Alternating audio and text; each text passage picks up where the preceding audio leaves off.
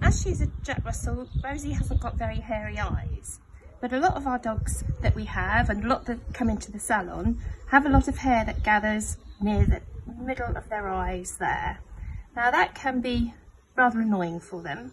So what I want to show you next is to just how to trim those.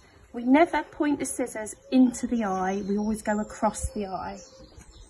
So, right little Rose, Rosebud, find some hair there Rosie. So I like to use thinning scissors, but you can use straight small scissors. Just go across the eye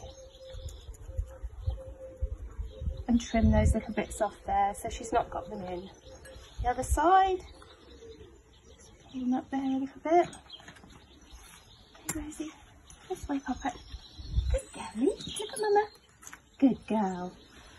Move again, cross the eye, not pointing into the eye. Good girl. And there we are. She's got hair-free eyes.